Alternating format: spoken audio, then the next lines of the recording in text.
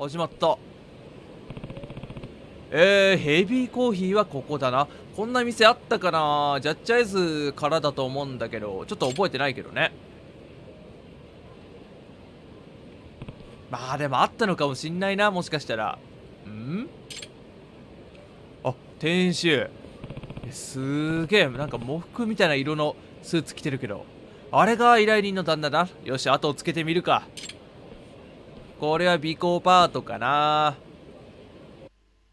うん。近いんだよねこれ割と。結構近いらしいねこの尾行の距離は。なんかあの YouTube チャンネルでゲーム散歩っていうそのゲームの世界をえー、いろんな業界の専門の方がなんかね説明するっていうチャンネルがあるんだけど非常に面白いチャンネルなんだけど。なんかねこの尾行すごい近いらしい。まあそれは近いよね。俺でもわかるけどこの距離 しかもめっちゃ追いかけてるからな。こことか隠れられるかな？ここ無理なんだ。ちょっとそろそろ見そうだけどまだいけるかな。ちょっとここで見られるとまずいな。おっと。まあちょっとね尾行パートは比較的うん長いしあんまり変わり映えもしないのでまあ1回やったからそろそろカットしてもいいのかなって思ってるんですがどうしよっかな、まあ、結構ね距離とかだいちょちょどこに隠れればいいんですかこの場合。こことかでいいのかな。あーあそこにいるわ。いやーあの親父本当に女性と会ってるよそこで。しかもちょっと尾行してて思ったのはこの先ラブホ街なんだよな。本当に浮気してる？結婚40年と聞くとあんまり信じたくないんだけど結構若い女性よ。女だ。やはりご主人は浮気をしていたのか。勘違いであってほしいな。しかしケバい女だな。年は結構いってそうだ。今日も赤レンガでいいか？赤レンガ？あ赤レンガってカムロ町にあるラブホテルだ。龍が如く3で入ったことあるよ桐生さんで。えもちろんよ。おおなじみの赤レンガ。あ移動し始めた。赤レンガって言ってたな。多分赤レンガホテルのことだろう。そうそうそうここおなじみのとこ。よし証拠写真を撮れるかもしれない。ホテルに入るとこを撮るにはどこがいい？えここか？あーまあここでしょう。いやこっちかも。とにかくあの2人をつけながら写真を撮るにベストなポジションに行こうあスクープミッションへえまあ今言ってたようにベストなところで、えー、場所を確保してえー、ベストショットにチャレンジしてボーナスをゲット。あー、ここにもボーナスがあるんだなまあまあ、この辺は、まあちょっと実際やってみないと分かんないとこあるし。あ、近い近い近い近い近い。こっから始まるんだ。隠れる場所あるかな？あの、いやー、でも、どうなんだろうね。男女がラブホテルでやることといったらも一つなので、だって、喫茶店とかでいいもんな正直。その女性に他の登るのを目立つことするね。女性に用事がねあるとしてさちょめちょめ以外の用事があるとしてこの年でラブホテル誘う男はキモいもんな正直。だからそういうことなのかな。そんなラブホ女子会みたいなことしないと思うので。この辺がいいんだけど取れるかな？始まった。ちょっとお茶しようでホテル入ってキモいからな。え？カメラを構える？ここでいいのかい？激写。あ全部ボーナス入ったんじゃない？よし旦那の顔までバッチリ映ってる。この証拠なら完璧だな。大丈夫かなこの証拠。まあ確かに確かな証拠だけど。あとは浮気相手の素性だな。ラブホから出てくるまで待つか。うわー探偵っぽい。本当に浮気してんのかな。まあでもこれは一旦事情聞くことが必要そうだよね。なんでラブホテル使ってんのってことになるからねちょめちょめをしていなくてもえー、やっと出てきたか。たくいい年こいてフルランドお楽しみかよ。まあ3、4時間ぐらいやったのかな。どうやらここで別れるらしいな。都合がいい女の方をつけよう。まあいかなる理由があってもね、怪しい行動はしてるから、次はじゃあ女の方をつけて、まあなんかどうなんだろう。まあでも全くヒントないからな。まあちょっとまた尾行してうん。まあカットはすると思うけどいい距離感で詰めていこうかな。いやーこの角度とかめちゃくちゃ怪しいけどね。明らかに尾行してる人だもん。あ右に行ったか？おおえー、どこ行った？今どこ行った？左に来たのに右行ったか？あいたいたいたいたいたいた。いやー今ちょうどねカムロ町を南下してきてなんかねヘビーカフェちょうどあの辺に戻ってきてるんだけどどこまで行くんだこジェイ見つかる？危ねえ。ちょっと待ってそれ曲がりかと曲がったら見失っちゃうから。ここのせめぎ合い尾行ってこういうとこ難しいよね。もし気づかれたら巻かれちゃうからなこういう距離取って曲がれちゃうと。ここヘビーカフェだよな。そこ。もしかしてそんなことある？なんか常連さんとかかな？お店の。うわーなんかそれって妻としてちょっと嫌じゃない？常連さん顔見知りの人と浮気しててすごく嫌じゃない？あでもそんなことないか。さすがに。あ止まった。おここで終わった。えー、奥さんと顔見知りだけはやめてほしいな。酷だよそれは。あれ？ここはあやっぱそうだヘビーコーヒー。ヘビーコーヒーじゃないかどういうことだ？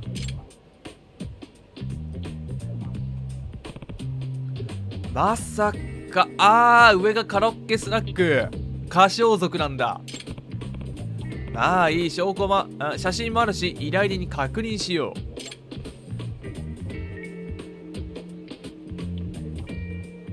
やー、上の店舗のね、女性とかだとめちゃめちゃ顔見知りなんじゃないのこれ。もしもし、のりこさんですか？下の名前で呼ぶ普通。絶対田口さんですか？でしょ。狙ってんじゃん、八神探偵。八神さん、何かありましたか？調査のご報告をさせていただきます。これから事務所に来られますか？え、わかりました。すぐに伺います。では、お待ちしています。よし事務所に戻るか。これは自動で戻ってくんのかなこういうのは。あ戻ったね。えー、これらの証拠からご主人は浮気をされているということでほぼ間違いないと思います。まあそうだよね。ラブホテルはやっぱそうだよな。やっぱりそうですか。ただその相手女性のことをのりこさんが知ってるかだよね。ご、ごめんなさい。それで続きを聞かせてください。はい。それで浮気相手の素性なんですが、この方ご存知ですか？え？こ、この人うわー、身近な人ってちょっとやだなもしかしたらだって営業してる時とかも上行ってちょめちょめしてる可能性があるからね。ヘビーコーヒーの上の階に入ってるスナック歌唱族のママではないですか？はい。おっしゃる通りです。私も面識があります。そんなこんな近くに浮気相手がいたなんて気づかない私もどうかしてるわ。いえいえ人間なかなか気づかないものですよ。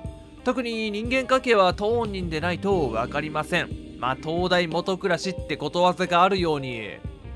うん思ってる以上に近いところにいるんだよねそういう人って。最初に言った通り知らない方が幸せなこともあります。ご主人がご近所さんと浮気している。これは事実です。そしてその事実を求めたのはあなただ。これから先どうするのかよく考えなんかさ八神探偵ってあの前のホストあの聖夜四股事件の女の子たちにもそうなんだけど結構弁護士だからかまあなんか現実を言うというかね希望とかあんま持たせなく言うよね。結構厳しいこと言う時は言うよね。八神さん。八神さん。八神さんありがとうございました。すっきりしました。主人とは別れます。そうですか。何も知らず残りの人生を過ごすよりよっぽどいいわ。いやーまさに晩婚離婚って感じだね。いえ仕事ですから。また何かありましたらお気軽にどうぞ。めちゃくちゃ笑う。まあ女性ってこういう時吹っ切れたらもううん旦那のことなんか気にしなくなるもんね。女性はもう一回忘れたらもう忘れるからね。全部さっぱり。こんな思いするのは一回で十分よ。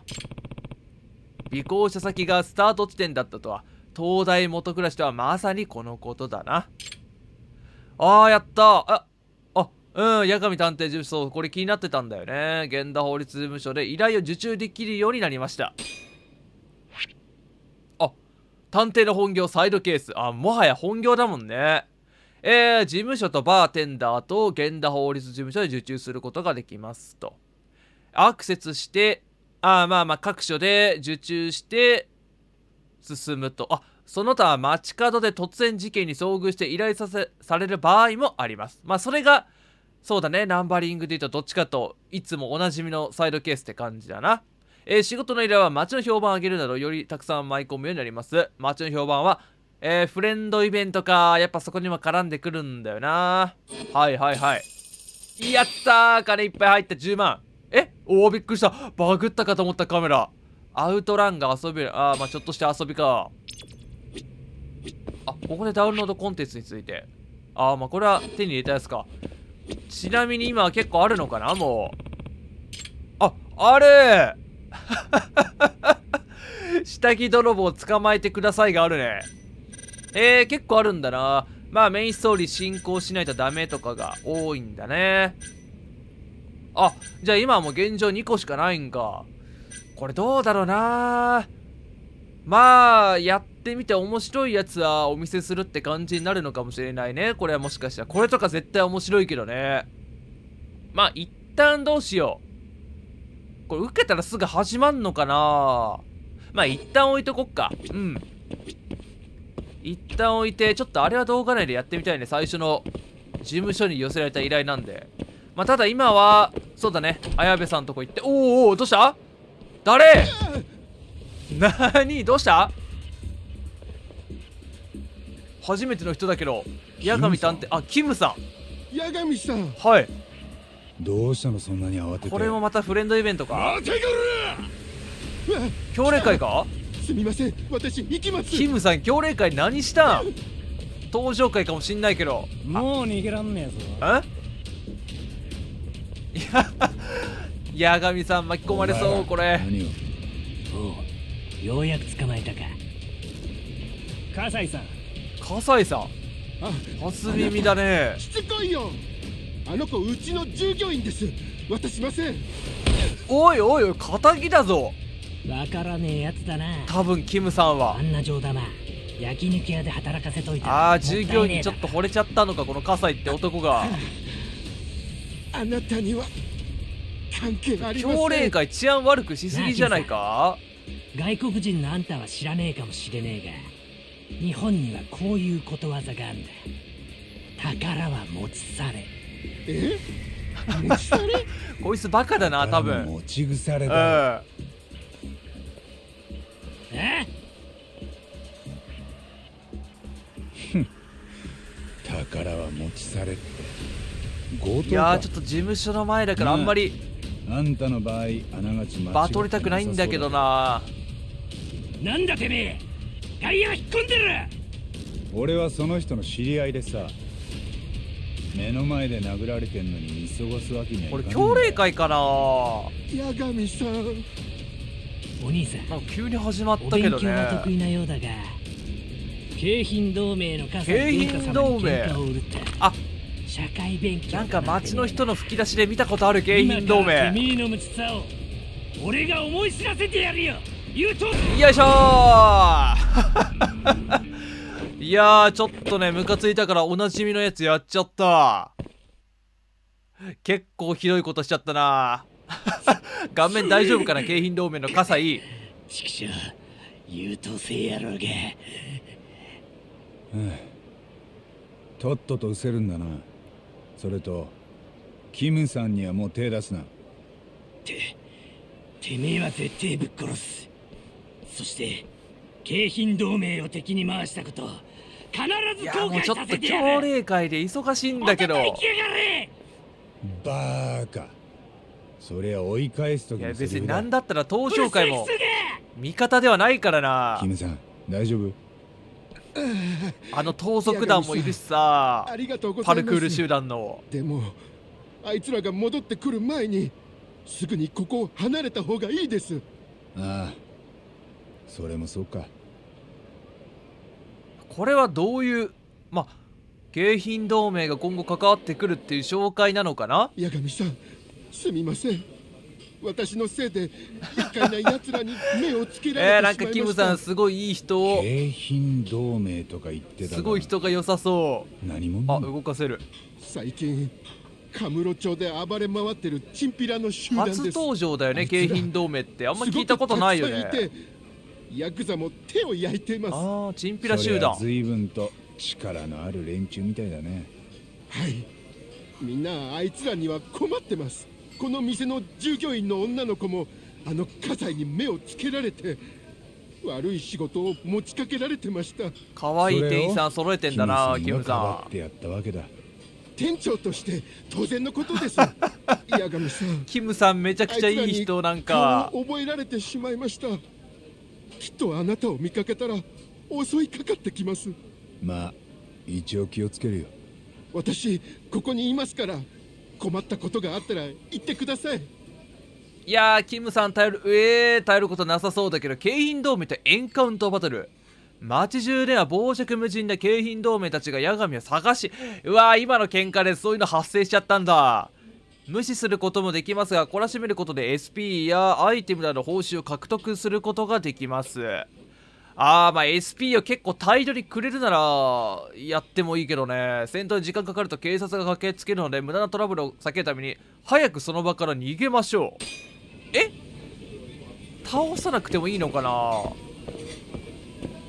なんかその竜が如くきおなんか始まったぞ。えー、海藤さんからの連絡はまだないか。どうしたもんかな？何？また巻き込まれる？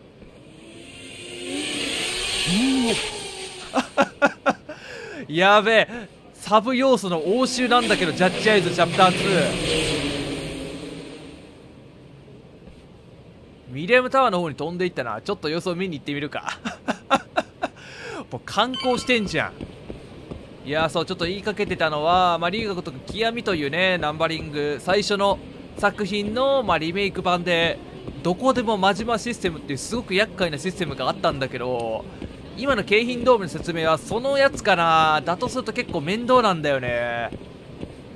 まあどこでも真島ほどはないと思うけど喧嘩ふっかけられていくのかなこっから歩いてるだけでも。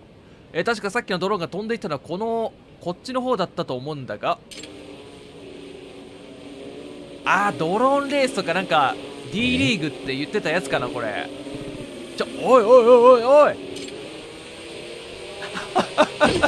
いやドローンって結構普通に危ないからね。街中で飛ばすの許可もいるし免許もいるよ。資格かな？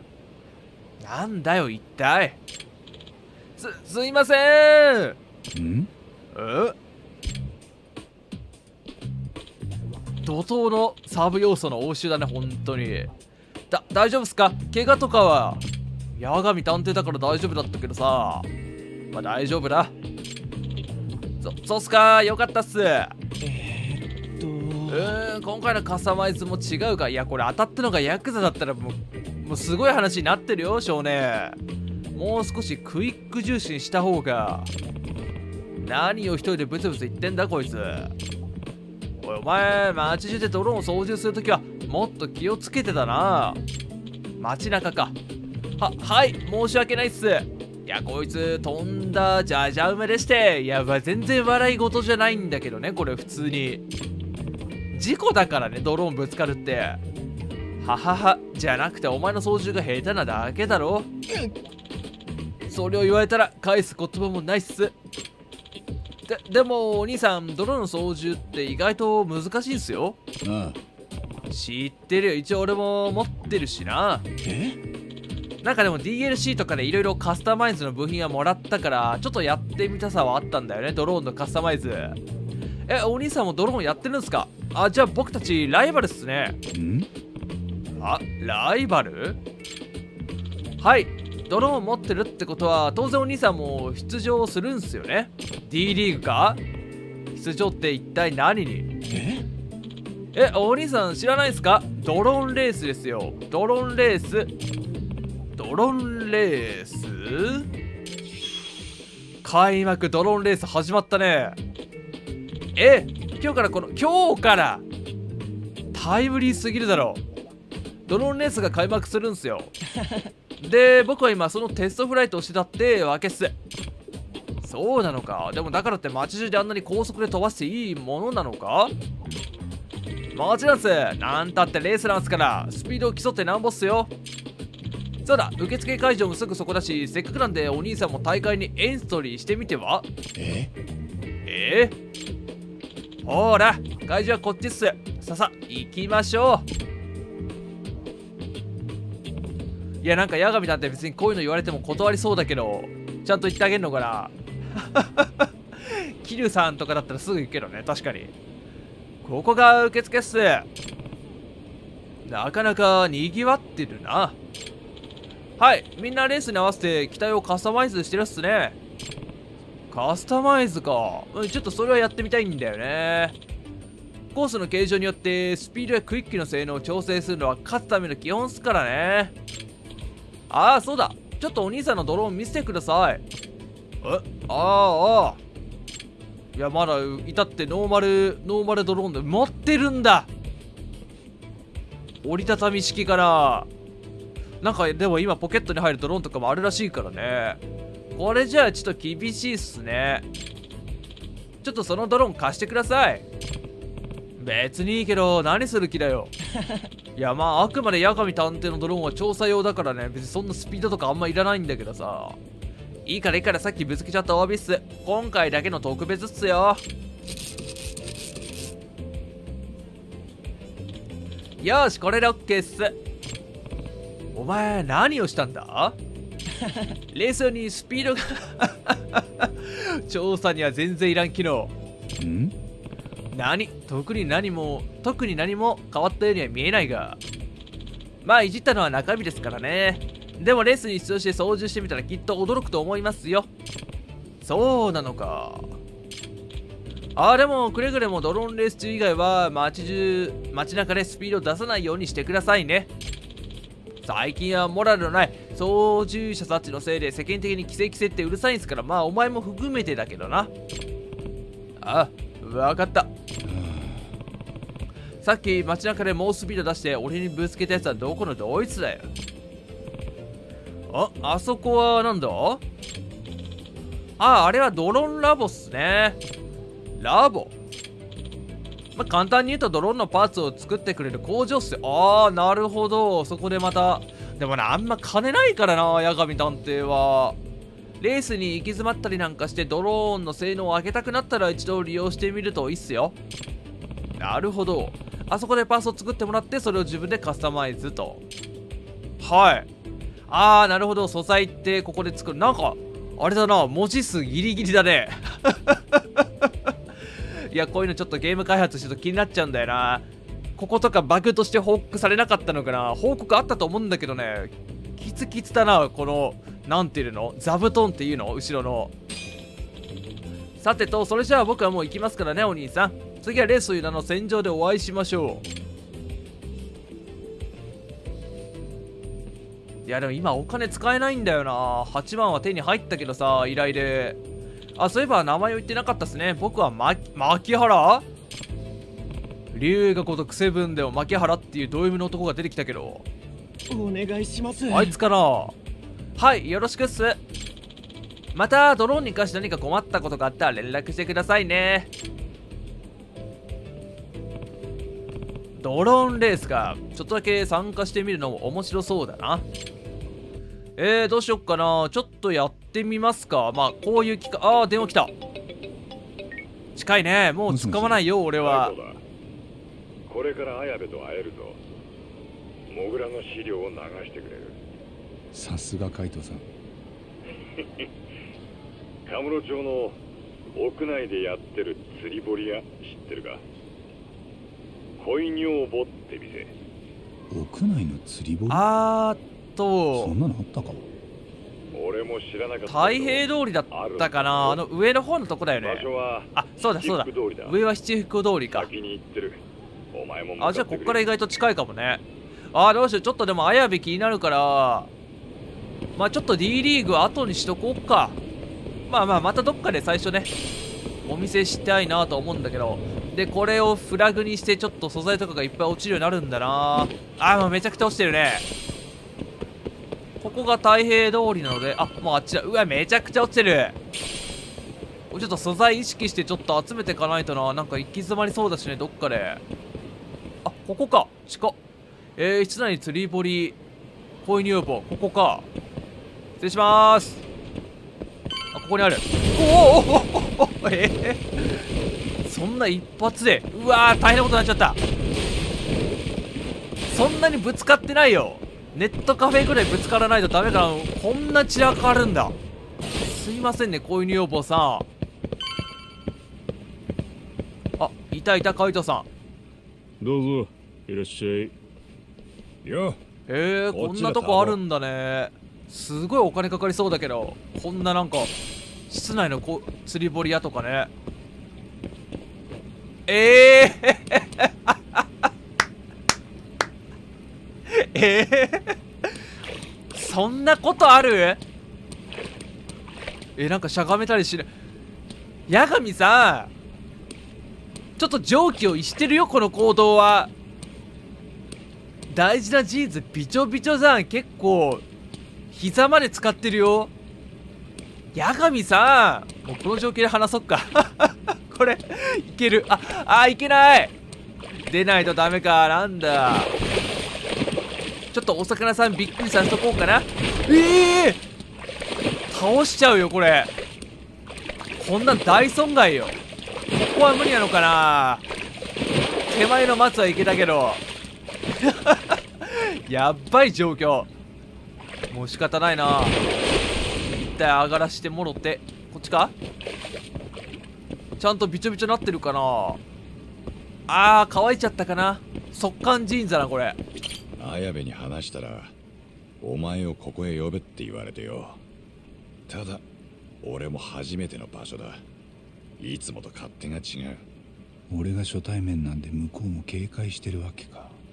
そういうことだろうな。店主がやたら見てくるけどここに来んのかな？なかなか来ないな綾部は。いやすいませんね釣り堀荒らしちゃってよしとけ。あいつが綾部の仲間かどうかわかんねまあそうだけど。え綾部は汚職警官だからな。大っぴらにされることを何よりも嫌う。でそうなりゃもう情報は手に入らねえ。わかるな。まあな。ん？おい。まあそっかその辺誰は慎重にやらないとダメなんだな情報源だから。もうえー、どっち？京浜同盟か？いらっしゃい。草を適当に選んでね。明らかに敵対心を持ってる輩だなこれは。よう釣れてるか今日は。いやー静かなもんだよ。気が散るぜ。あっち行ってろ。この感じは協力会っぽいな。すんなって。あんたら綾部と待ち合わせなんだ。親部さんのこと知ってる？誰だって。とぼけんじゃねえ痛え目に遭いてえのか人違いじゃないか。俺ら何も。ああ他を当たりゃ俺らがデカの知り合いに見えるか？なんで綾部がデカって知ってんだこのこ こいつ意外と釜かけてくるタイプこの顔つらして。そうだろうがよ。くそ汚ねえ真似しやがって。いやいやいやいやいやいや。綾部に何の用だ言わねえと痛い目見る。ええー、ドス持ってるチンピラが笑こわせんだ。でもチンピラなんだ。控えたいんや。そいつは引っ込めてでももらえね。綾部を守ってるって感じするよな。いい根性してるじゃねえか。てめえらよ。町のチンピラはなんか組織名とかなし？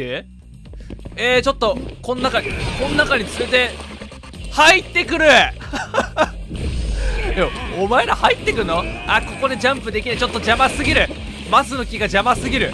あいけたいけたいけた。もうジョボジョボしちゃうよそんな。ここまで入ってきたんなら。釣り堀の人たちは大迷惑よこんな。よいしょ。全員入ってきちゃった。何このバトルシーン。めちゃくちゃびっちょびちょ。やる必要ないのにびっちょびちょ。壁キックしたいんだけどな。水の抵抗があってなかなかうまくできないな。よし。なんかそれっぽいヒートアクション出るかな。あまああとこいつだけ。あー海藤さんちょっと待ってよ。演出したかったのに。海藤さん強いな。びちょびちょになっちゃったけど2人とも。まだやんのか？どうなんだこら！もう口も聞けないってよ。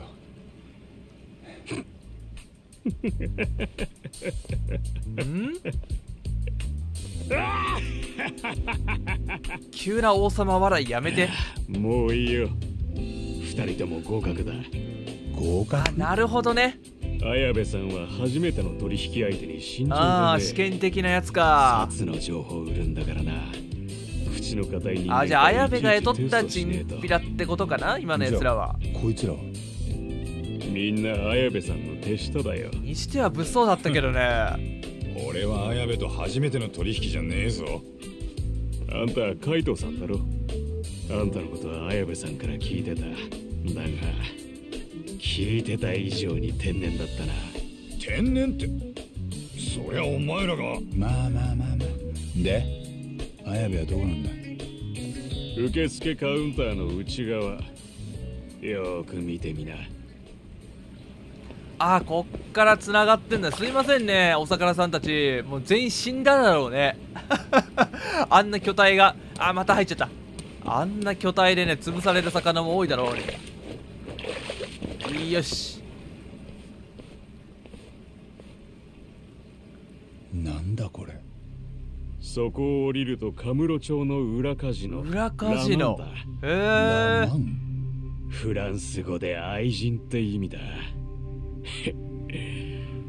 恋女房の陰には愛人がいるってわけよ。フランス語って柄かよ綾部さんもすぐに来るから遊んで待ってな。これはサービスだ。あ300枚。あー結構もらったねラマンの鍵なんか普通にこの釣り堀来て会計したら結構見える位置にあるけどね。大丈夫？ちょっと失礼して。結構危ないなこの階段。店主。普通に足踏み外して結構な階段落ちるよこれ。怪我とかしそうだけどね。あーでもちゃんと裏カジノっていうかもうすごい一気に豪華になったね。で鍵をもらってたのでなんか四角っぽい鍵だったよな。えー、っと。えっと。えー、っとだよな。R1 か？あいたあこれだ。うわすげえ裏カジノ広がっておおすげえ。うわセクシーな女の子。バニーガールってやつか。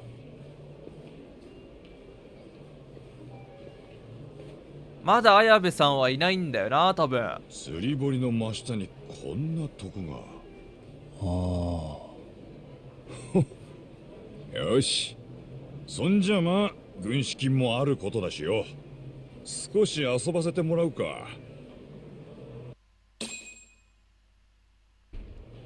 でえー、あーなんか一応あっちに吹き出しの人がいるけどこれは？いらっしゃいませ。あ普通の店員さんか。えー、0円だよいやまあなんかね俺最近あのポーカーとかをねすごい好きでうんそういう YouTube チャンネル YouTuber の人とか見てるんだけどカジノってさこう飲食とか宿泊代とかホテルのねカジノやったら結構海外って無料だったりするらしいんだよね。だからそれを反映してんのかな。